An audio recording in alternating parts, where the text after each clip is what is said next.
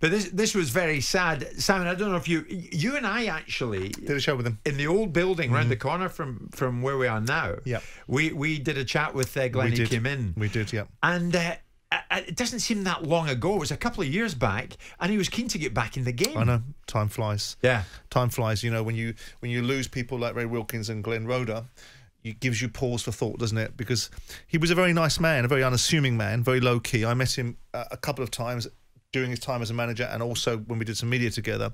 And he was just very low key, very calm. He was very yeah. very sedate. You know, sometimes that, that, that my personality makes people sedate, but uh, he was a very interesting man and very you know very keen to listen to other people and also very very very methodical in his delivery and his analysis of things. Very much so. Very. You you vaguely remember him as a player, Danny? Do you? I remember Glenn as a player. As I said, they're great left foot.